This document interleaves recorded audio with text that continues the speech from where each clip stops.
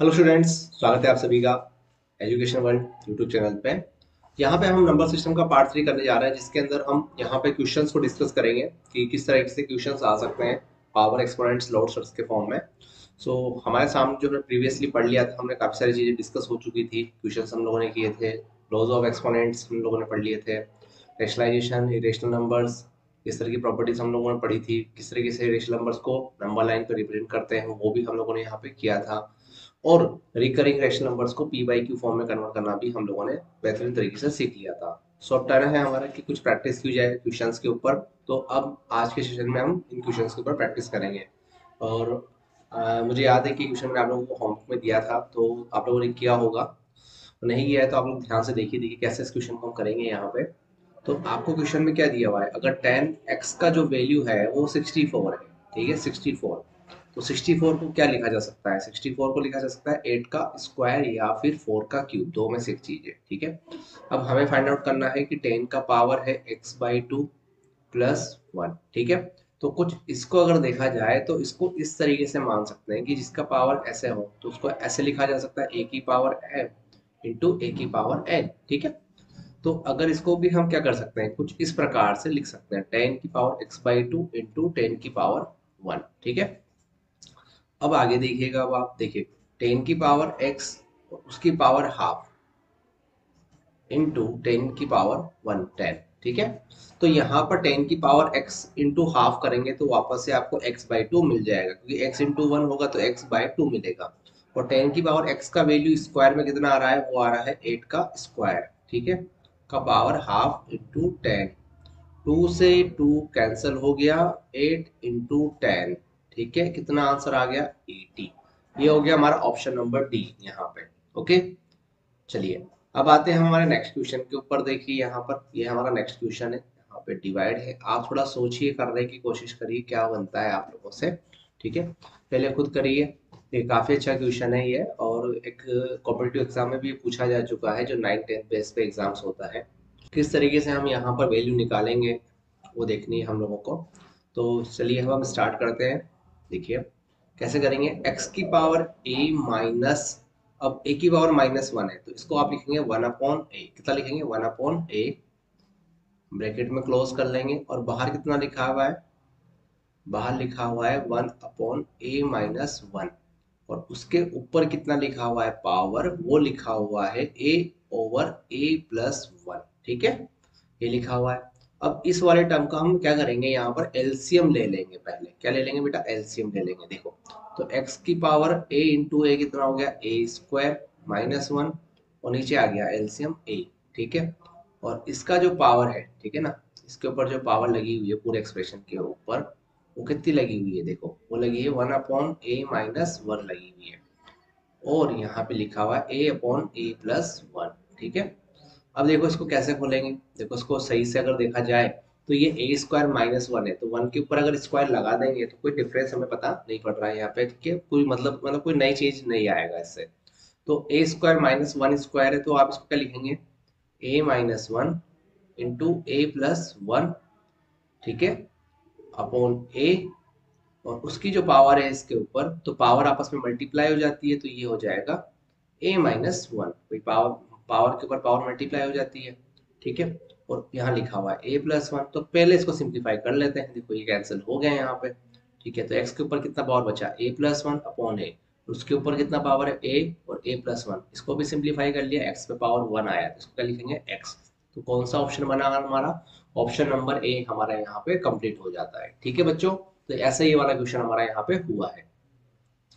Next question है हमारे पास। अगेन पावर एक्सपोनेंट से टू की पावर फाइव एक्स टू की power five X divide two की power X equal to under root, यहाँ पर उसका जो रेडिकल से फाइव है टू ट्वेंटी क्लियर देखिए, अब यहाँ पे काफ़ी सारे लॉज है, ठीक है? पहला लॉज तो ये है, इसको सॉल्व करेंगे तो ये माइनस होगा। आपको पढ़ा होगा ए की power M divide by A की पावर एन तो इसको लिखते हैं ए की पावर एम माइनस एन ठीक है? और दूसरा रूल हमारे पास क्या है? कि ए पर पावर एम हो और यहाँ पर एन हो तो इसको लिख सकते हैं ए की पावर एम अपॉन एन ठीक है? दोनों कंडीशन ये वाला रो इसके लिए वाला है और ये वाला जो लॉ है, वो इसके लिए फॉलो होगा क्लियर देखिए तो यहाँ माइनस कर देंगे तो टू की पावर फाइव एक्स में से एक्स माइनस हो गया तो कितना आएगा? फोर एक्स फिर आगे देखिए टू की power twenty divided by five तो टू की power four X equal to four क्योंकि ट्वेंटी को डिवाइड कर देंगे फाइव से तो कितना आएगा? फोर और अब यहाँ पर एक चीज़ हो गई है। दोनों के बेस सेम है और इक्वल में है तो पावर को कंपेरिजन कर सकते हैं। Four X equal to four तो वैल्यू ऑफ़ एक्स कितना आ जाएगा? वन आ जाएगा। ठीक है? इसका आंसर कितना हो गया हमारा? ऑप्शन नंबर डी ओके बच्चों, चलो आगे चलते हैं।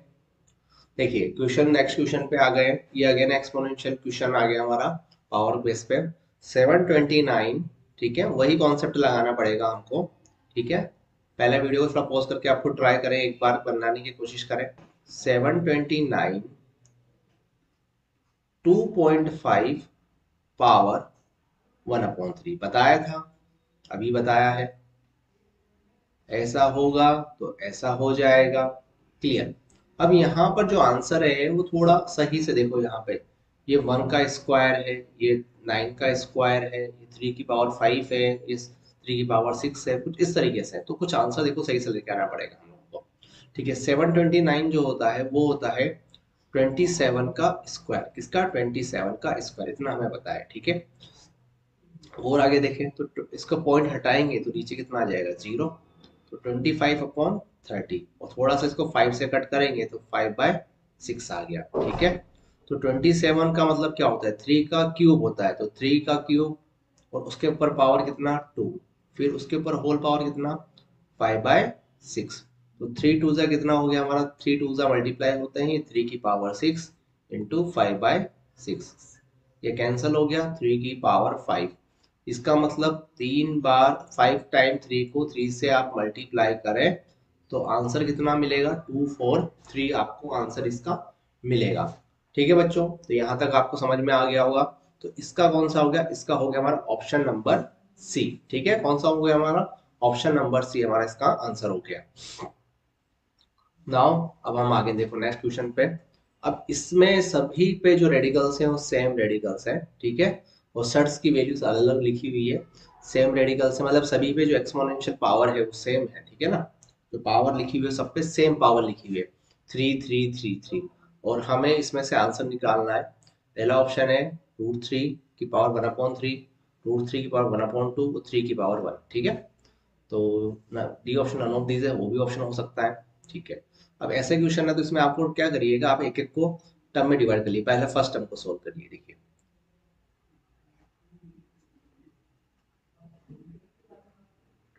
ठीक है?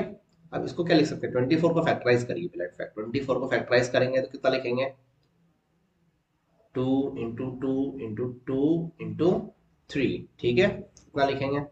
तो देखो, अब यहाँ पर जो नीचे अंदर टू है, अंदर की तरफ़ उसका क्यूब हो जाएगा, ठीक है? क्यूब हो जाएगा इंटू थ्री तो यहाँ पे जो पावर है, और यहाँ पे जो पावर है, अगर वो सेम है तो ये नंबर क्या होता है? बाहर आ जाएगा। तो टू बाहर आ गया टू बाहर आ गया, ठीक है? थ्री ओनली अंदर रह गया, और यहाँ पर इतना रहा। तो एक टर्म तो ये हमारे पास फ़र्स्ट टर्म तो ये सॉल्व हो गई, ठीक है? अब सेकंड टर्म देखते हैं यहाँ पे। तो सेकंड टर्म को हम यहाँ सॉल्व कर लेते हैं ओके तो देखिए सेकंड टर्म करते हैं तो थ्री एटी वन ठीक है? इसको अगर देखा जाए तो कैसे करेंगे?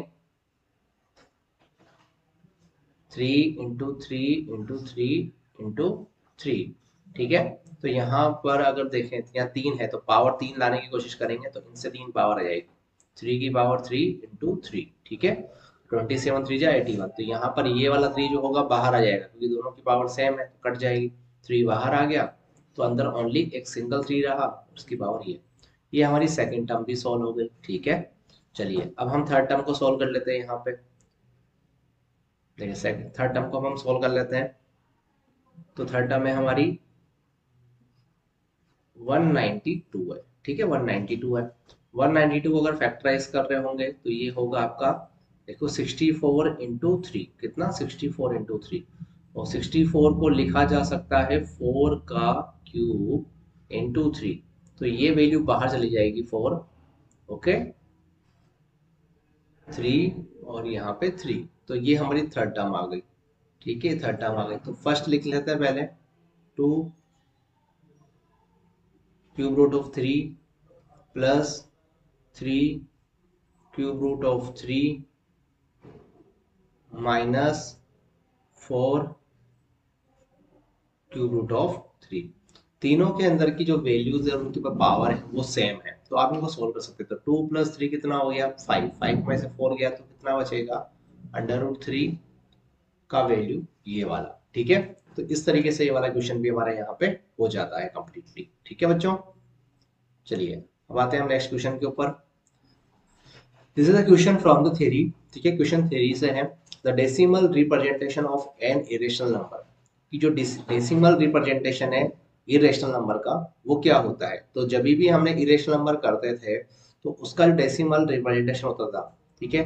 ना तो वो कभी टर्मिनेट होता था, ना ही वो कभी फिक्स पैटर्न में रिकर करता था। तो ऐसा आंसर देखना है आपको, जहाँ पर वो हो, ठीक है? तो पहला ऑप्शन है हमारा ऑलवेज टर्मिनेटिंग तो ऑलवेज टर्मिनेटिंग जो होता है ठीक है? तो ना तो रेशनल नंबर भी ऑलवेज टर्मिनेट होता है, ना रेशनल नंबर होगा, ठीक है ना? तो ऑलवेज टर्मिनेट तो कोई भी नंबर नहीं जो ऑलवेज टर्मिनेट होता है, ठीक है? आइदर टर्मिनेटिंग या रिपीटिंग या तो टर्मिनेट होगा या रिपीट होगा तो ऐसा तो टर्मिनेट होगा या रिपीट होगा, ये कंडीशन तो किसके लिए होती है? ये होती है रेशनल नंबर के लिए, जिसमें या तो रिपीट टर्मिनेट होगा या रिपीट होगा। थर्ड लिखा है आइदर टर्मिनेटिंग या नॉन रिपीटिंग या तो टर्मिनेटिंग होगा या नॉन रिपीटिंग होगा तो ये कंडीशन भी नहीं होती है। The condition is fourth neither terminating the non repeating ना तो वो टर्मिनेट होता है, ना ही वो रिपीट होता है। तो ऑप्शन नंबर डी हमारा यहाँ पे करेक्ट आंसर है, बच्चों। ठीक है? Which of the following is a true statement इनमें से सही स्टेटमेंट क्या है? देखिएगा। पहला है pi is rational and 22 is rational pi and 22 बहुत रेशनल पाई रेशनल 22 इरेशनल ठीक है? देखो, पाई को हम पहले से ही, पाई जो नंबर है, उसको पहले से ही हम इरेशनल नंबर मानते हैं, ठीक है? पाई को ऑलरेडी हम लोग क्या मानते हैं? इरेशनल नंबर मानते हैं। ये बात को ध्यान समझिएगा, ठीक है? तो ट्वेंटी टू बाई सेवन जो है, उसको हम क्या मानेंगे? उसको मानेंगे हम लोग रेशनल क्यों मानेंगे? जब इसका अगर हम ट्वेंटी टू बाई सेवन का डेसिमल रिप्रेजेंटेशन करते हैं तो वो नाइदर टर्मिनेटिंग बट रिपीटिंग होता है। टर्मिनेट नहीं होगा बट वो रिकरिंग होता है, ठीक है? तो इस वजह से हम क्या कह सकते हैं कि pi is a rational and two is a rational ठीक है? Option number A is a correct answer okay तो ये हो गया हमारा। A irrational number between root two and the root three root two और रूट थ्री के बीच में रेशनल नंबर कैसा होगा? तो इसके बीच में रेशनल नंबर रेशनल नंबर हमें निकालना है तो क्या कर देते हैं? मीन मेथड का यूज़ कर देते हैं कि दो रेशनल नंबर है, उनके बीच में निकालना हो तो उनको ऐड कर लो, ठीक है? डिवाइड बाय टू कर लो। ऐसा कर लेंगे, ठीक है। अब यहाँ पे हम कैसे करेंगे, देखो। अब यहाँ पे करना हो तो यहाँ पर भी उसी कंडीशन में हम लोग यहाँ पे इसको सोल्व कर सकते हैं, ठीक है। दोनों को ऐड करके टू से डिवाइड कर देंगे, जो ऑप्शन ए बन रहा है हमारा। देखिए, अब हमारा क्वेश्चन फोर्थ आ गया है, ठीक है। This is the last question for our session ये आज का हमारा लास्ट क्वेश्चन होगा, कि रूट टू का वैल्यू हमें दिया हुआ है 1.414 ठीक है। और हमें वैल्यू फाइंड आउट करना है under root two minus one upon under two plus one इसका वैल्यू हमें फाइंड आउट करना है। तो स्टूडेंट्स क्या करते हैं? बड़ी जल्दी वैल्यूज़ पुट कर देते हैं सॉल्व करने की कोशिश करते हैं, पर ऐसा नहीं करना है। पहले आप इसको रेशनलाइजेशन करिए, ठीक है? This is last question for us ठीक है? तो ध्यान से देखिएगा इसको। Under root two minus one over under root two minus one ठीक है? इसके कंजुगेट से मल्टीप्लाई कर देंगे। तो ऊपर बन जाएगा हमारे पास under root two minus one whole square upon under root two square minus one square, ठीक है? तो ऊपर वाले को तो सिंप्लीफाई हो गया तो कितना बचा? रूट बाहर आ जाएगा, रूट टू माइनस वन।